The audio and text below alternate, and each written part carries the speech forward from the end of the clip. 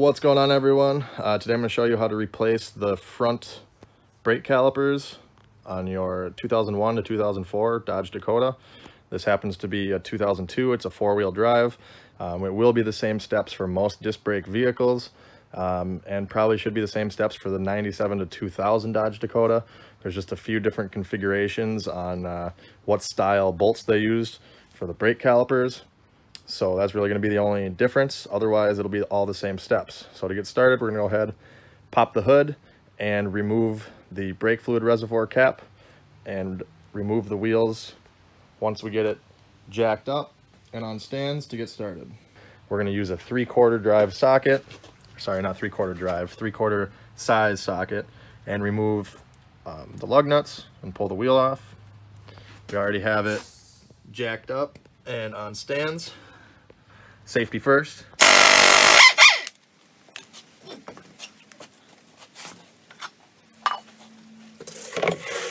All right, so the next step is gonna be removing the banjo bolt that holds the line to the caliper. It's a 15 millimeter.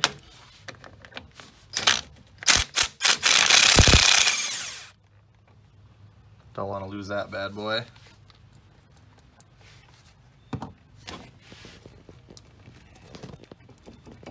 As you see, mine's rusted on, so I'm gonna give it just a little love tap with the hammer.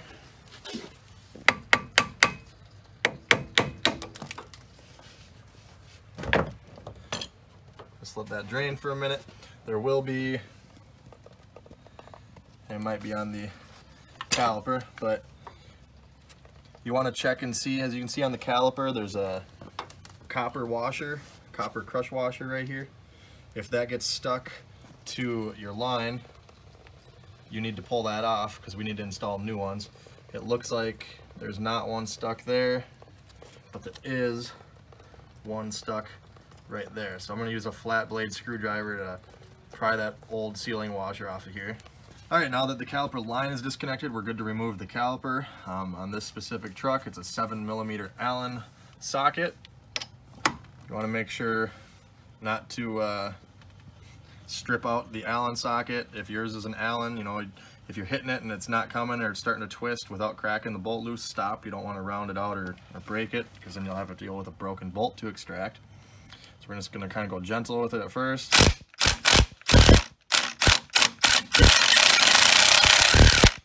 Same with the bottom one.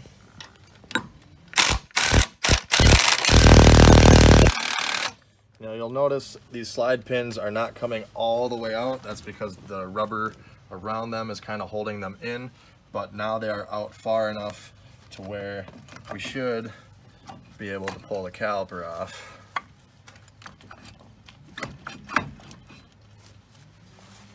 And let it drain. Swap, um, if you're gonna be um, reusing your old brake pads, Make sure to remove those. For the outer pad, it's got these clips on it. You have to push in towards the center of the caliper and then lift up because it has this alignment dowel that seats in this hole. Which is the same on the back side here. Pull it up like that. And the inner one just simply pushes straight over. Just has these clips that go into here. Now we'll remove the slide pins the rest of the way. Kind of push on it with my finger here.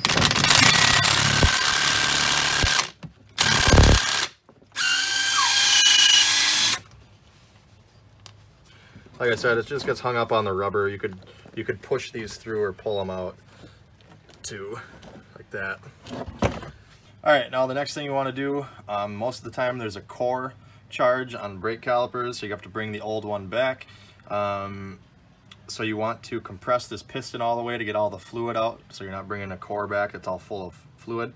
Um, what I do is use either a big pliers and just squeeze the piston back in or you can use a C-clamp and that'll suck it back in as well.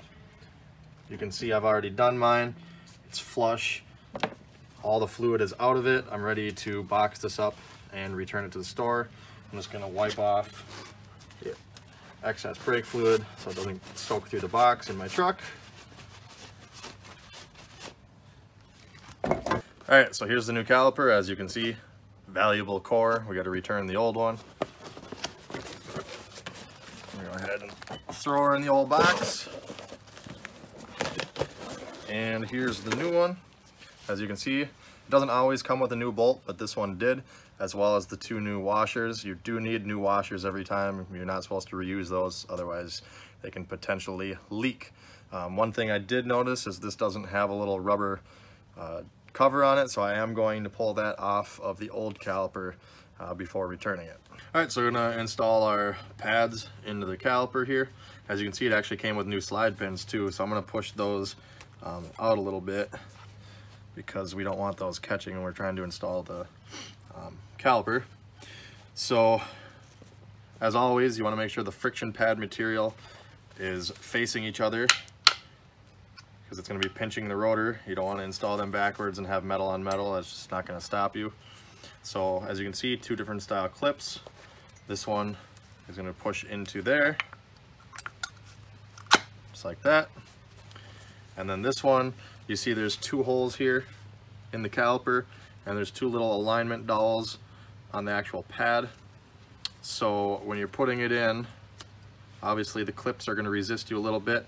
You're going to just kind of force the pad that direction so you can get the dowel past like that and you want to make sure that they're lined up in the holes which they are and now we are ready to install the caliper um, I've also already replaced the rotor on this specific truck you do not need to remove the caliper bracket like you do on some vehicles the rotor just simply pulls off and goes back on if you are replacing your rotor, make sure you brake clean the mating surface where the pad is going to be uh, and wipe it off with a paper towel or a rag to make sure that you get all the shipping grease off of here so that the pads can actually grab on and stop the vehicle.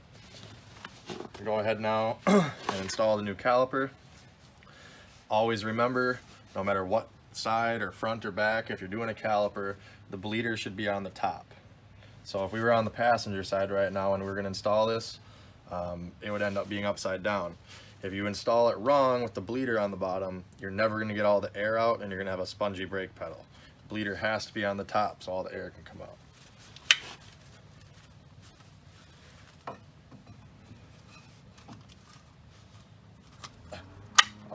edit this part out.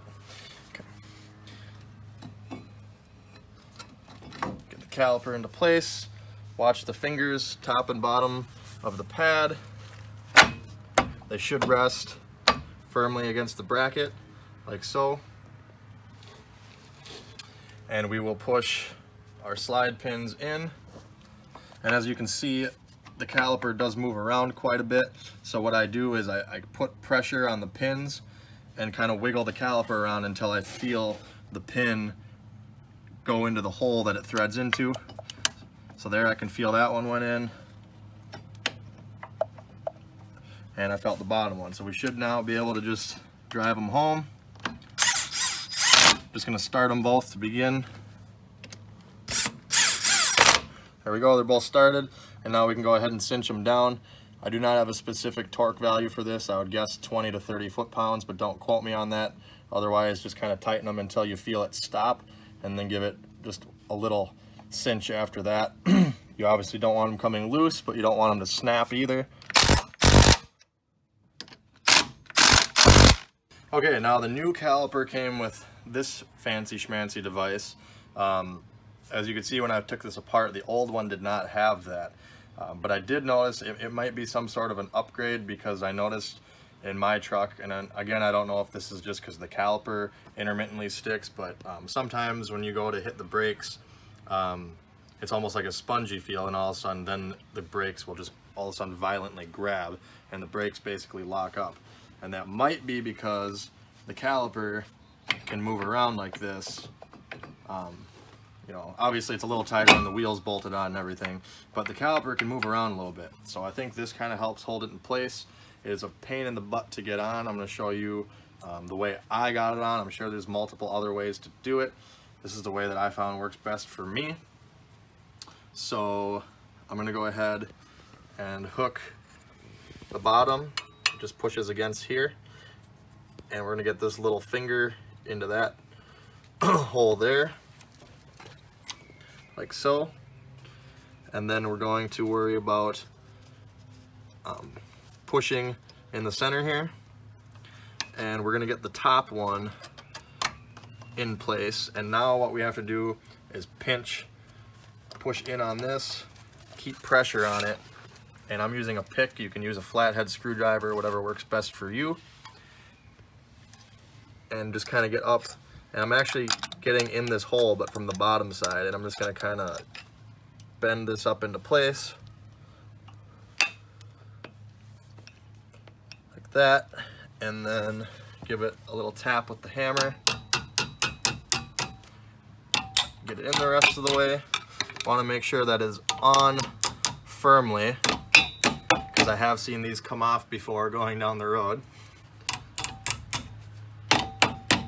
So make sure it's in caliper all the way. Make sure it's nice and straight here, like so. And make sure it's not hitting your rotor. That's a no-no as well. So if it is hitting your rotor, something's wrong. Um, or maybe you should just pull this off and not run it. I'm gonna run it with it and see what happens. As you can see, it's a lot more sturdy now. I can't move that caliper hardly, so should keep things uh, a little bit more planted. All right, so here's the caliper line. As you can see, mine's a little crusty, so I'm definitely gonna take and chip off some of the rust on the sealing surface here. You don't wanna take like a flathead and start gouging this. You want it to be, you, can see if you look closely, there's kind of like a little rings or grooves going around it. Um, the washers have those as well, so that kind of helps interlock it and seal. I'm just wiping it off with the rag to get any loose debris out of the way. Um, anything major that's going to prevent this from sealing properly. Uh, and then we're going to do the same on the bottom side here. If it's, if it's too bad to the point where you think it's not going to seal, you might want to replace this line. I'm going to run it. All right, so I'm gonna wipe off the caliper as well, just get any fluid off of it, just get a nice clean mating surface. And we're going to take and make sure that our new copper washers are also clean. Put one of them on our new banjo bolt. And if you're wondering what's so special about this bolt, it's got a hole in the center of it with uh, a hole there. Sometimes there's two, this one just has one, but the fluid flows through this bolt, essentially. So um, we're gonna head, go ahead, I'm gonna wipe this one more time, just because it's got kind of a steady drip to it. Want everything clean going together. This is directional. This um, goes in this way, as you can see from the bend here. That's how it naturally wants to sit on the caliper. So I'm gonna go and put the bolt with the one washer like that. Make sure our second washer is nice and clean. Put that on. And then we will start the bolt. I always try to do it by hand first so you're not cross-threading anything. Um, you should be able to see the caliper here has basically a, it's a flat so it fits the um, outline of this brick on the line so it keeps the line from twisting when you tighten it. All right, I snugged it down with the impact there, but I'm gonna do the final tightening with the ratchet just because I don't want it over tightened. Um, again, I don't know if there's a specific torque value for this. It wouldn't hurt to look it up. Um, if I had to guess, I'd probably say somewhere in the 20 to 30 foot-pound range. I usually just do them by feel. Um, you don't want to reef on it too hard. Obviously the bolt with the hole drilled in it, it's a hollow bolt, so it's not as strong as a normal bolt, meaning it will shear and break easier. But at the same time, you don't want any leaks, because that equals no brakes. So you can see I just have a short ratchet here. Basically tightened it up until it got tight, and then gave it maybe another eighth to a quarter turn just to snug it up. Now we're good. Um, we're gonna go ahead and crack this bleeder loose. Um, if you're doing multiple calipers like I am, we're on the driver's side right now. The brake fluid reservoir is also on the driver's side. You wanna start with the farthest away caliper. So if we were doing the rears, we would start by bleeding the right rear, then go to the left rear, followed by passenger front, and then the driver's front last. Um, so we're gonna bleed the passenger side first, and then come back to this side. All right, so I've got both calipers replaced, got the pads, the rotors, everything on. Um, now I'm, this is the 10 millimeter wrench we need for this specific bleeder. So I'm gonna head and crack that loose. Uh, put a little hose on the end of it. I believe this is a quarter inch diameter hose, um, just to kind of route the fluid down so it doesn't drip down the caliper and make a big mess. So we're gonna go ahead and crack that open.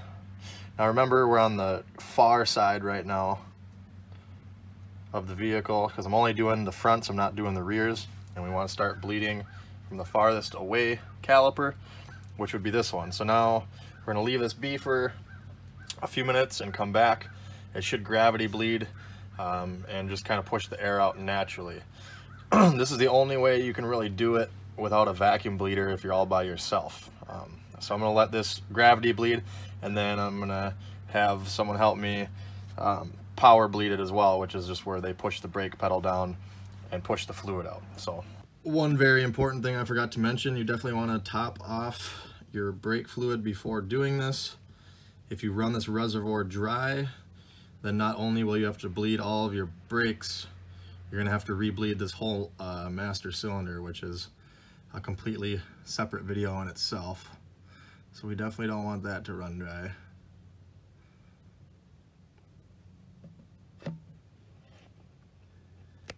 Okay, so if gravity bleeding isn't working, or like I said, even if I do gravity bleed, I still do it this way anyways.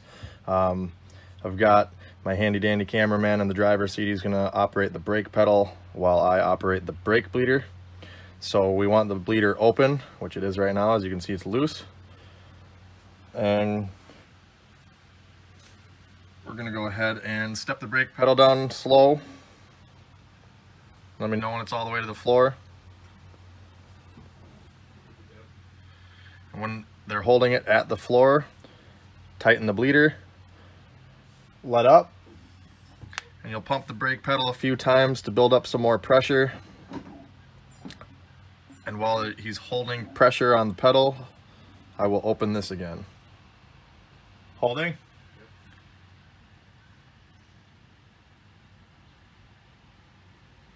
Floor. And tighten again. We're going to repeat this until we get steady fluid out of here that's not bubbling air. You holding it?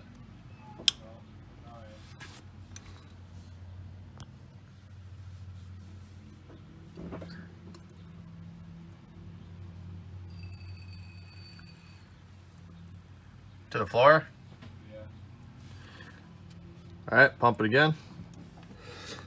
As you can see there, there was air bubbles coming out, so we're gonna continue doing this until it's a steady stream.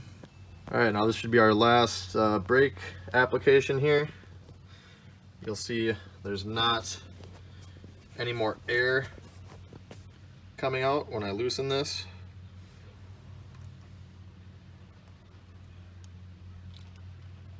No air bubbles right here. So I'll make sure to close the bleeder back up. Again, it doesn't need to be anything too extreme, but you do want to make sure it's tight. Just kind of give it a good cinch.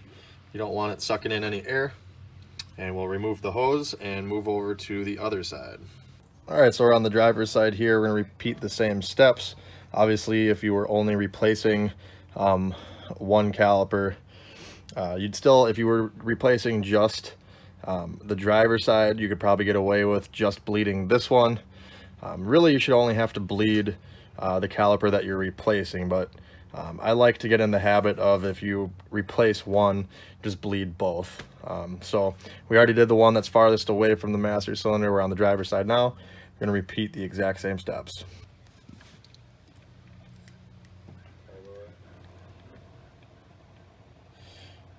There you go, as we see, we have a solid stream.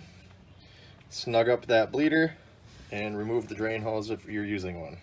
Don't forget to top off your brake fluid every couple of bleeds. It does go down faster than you might think, and you definitely don't want this going dry, like I said earlier. Once you're all done bleeding, not a bad idea to just kind of hit everything with some brake clean, get all that brake fluid off of there, because brake fluid eats paint and not like there's a whole lot of paint going on here anyway, but just to kind of keep it clean.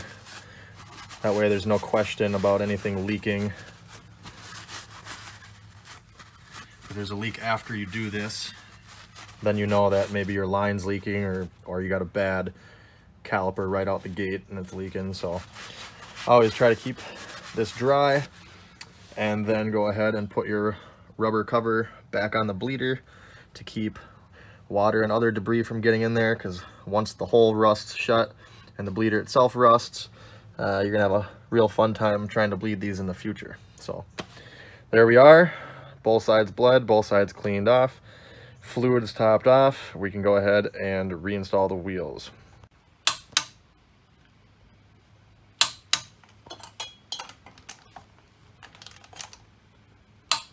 Once you get the wheels on, use the three quarter inch socket again. And like I said, torque them between 100 and 120 foot-pounds is what I do. Again, it wouldn't hurt to look up the actual specification, but I would guess it's right in there.